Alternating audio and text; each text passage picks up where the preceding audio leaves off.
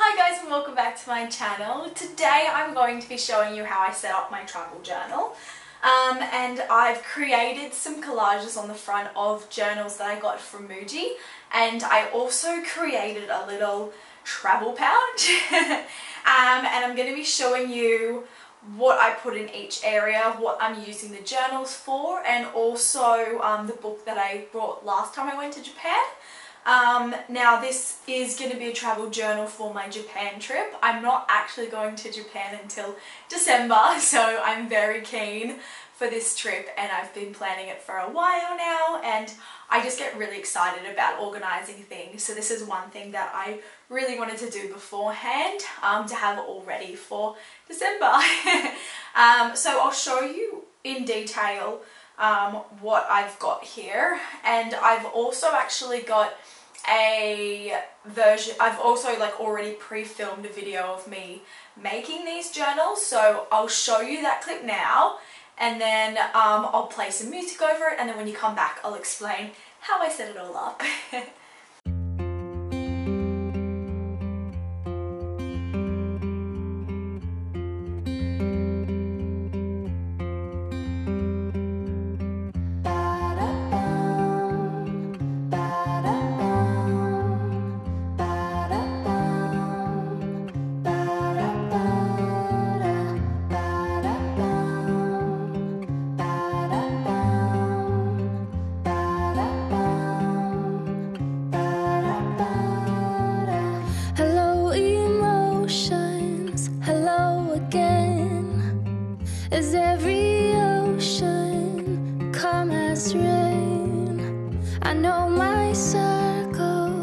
I know my name. Another sea.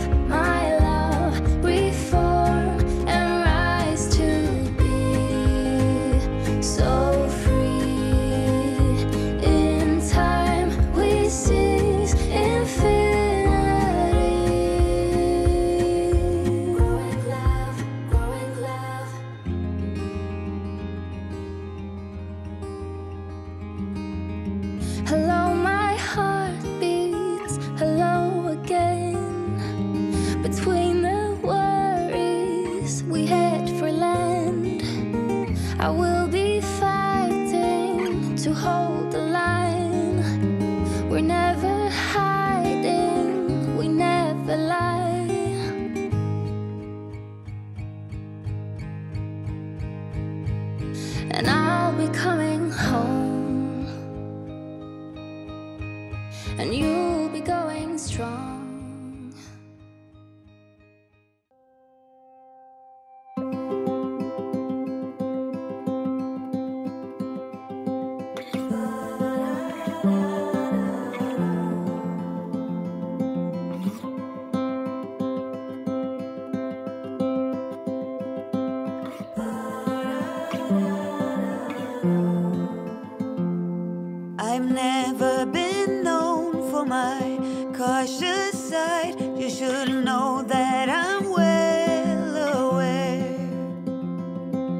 I don't want it.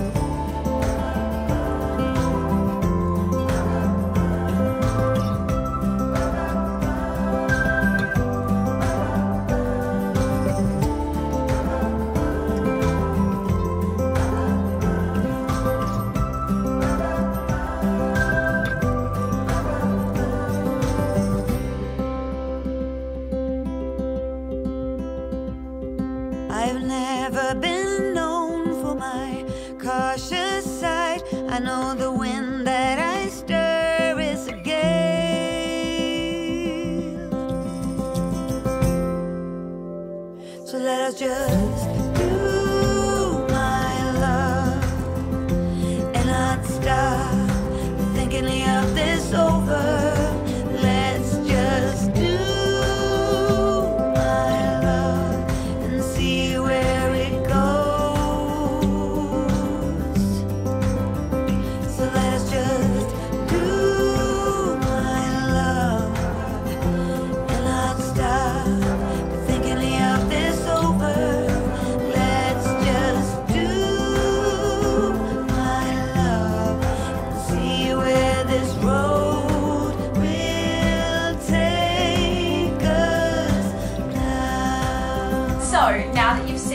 How I've created the journals, I'm going to show you the actual um, pouch and the kit and how I'll use it on a daily basis. So I'll show you close-ups um, while I'm talking through it, but basically at the front here you can see my little designs. Now all these badges here I actually got um, on my last Japan trip, so these are actually our little um, vending machines, Think the gachapon machines. Um, so they come in those little eggs that drop down and these one, like this one here is from Nara. Um, I can't remember where these two were, but they were out of those little eggs. And then these two I just bought, I think from this one here, the little guy in a swan suit. Um, I think that was just from a little stationery shop and the other one I think was on um, Harajuku Street, the Harajuku main street. And then these Japanese stamps are just stamps I got from a package from Japan to Australia. So I cut those out because I thought they were really cute and I wanted to keep them.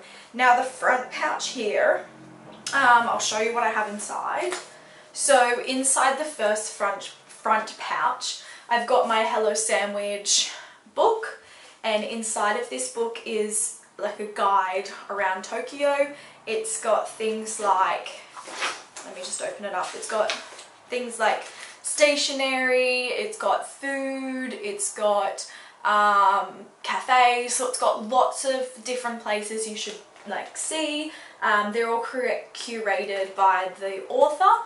So this time around when I go back to Japan, I'll be able to um, see some more places. She had some really great tips and places last time. So I'm to see how many I can do this time. So I actually got that one from just a little bookshop um, last year. So I don't know if they're still around in Sydney.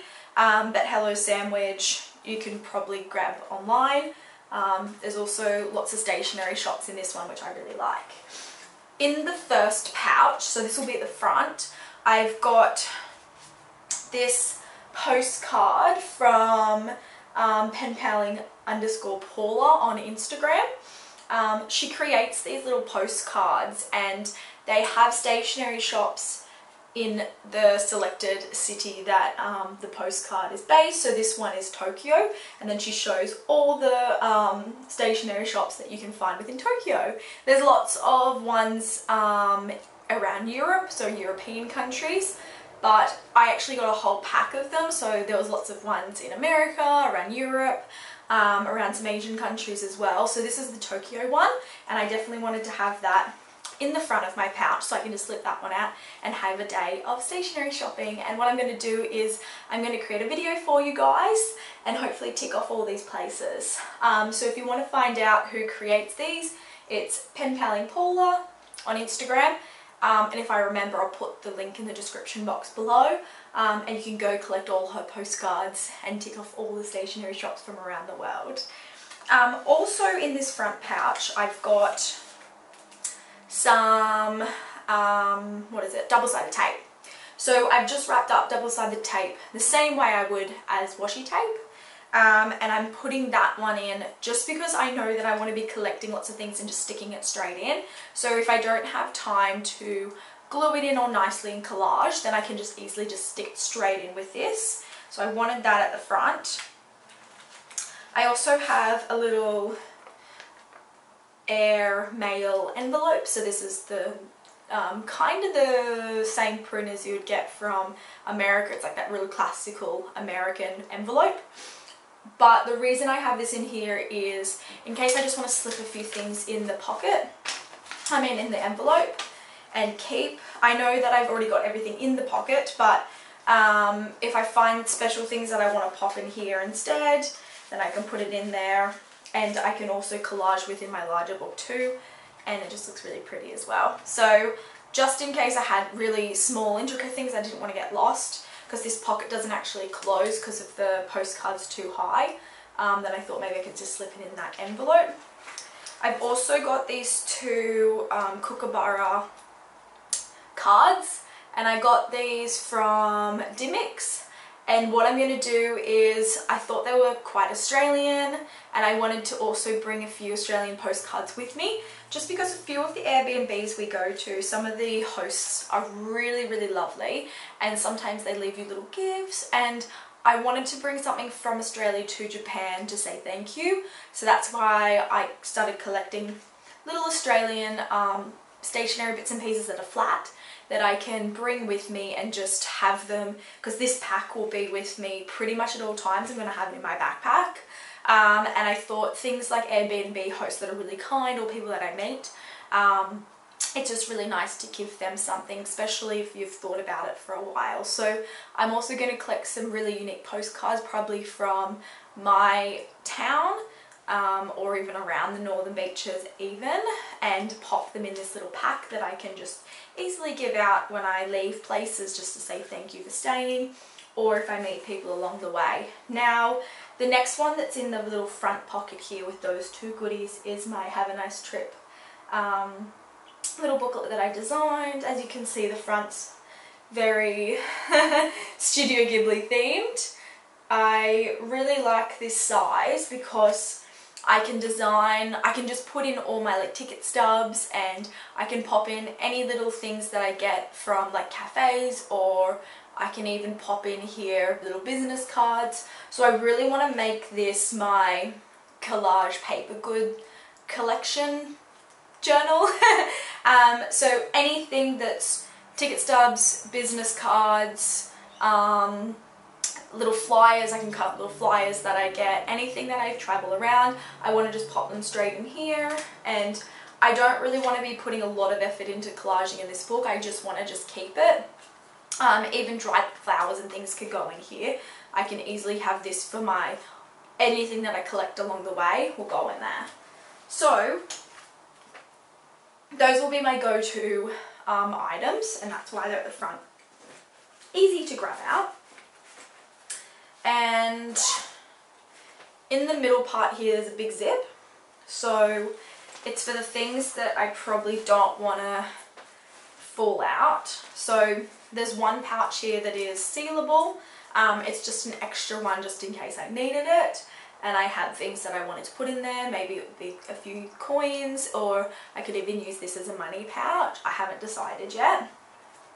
This one here is quite a small booklet and I was going to use this one for my Polaroid photos. So I was literally just going to, even though I've designed all the front here, I was literally just going to put my Polaroids in here and as you can see I've already got one in there. Um, but my Polaroid camera isn't working very well.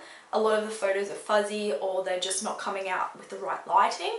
So what I was thinking of doing is of is I was going to buy one of those print, like they print out Polaroids from your phone so I can take some really nice photos on my camera sorry my phone camera like my iPhone camera and then I can print them straight out and pop them straight in here.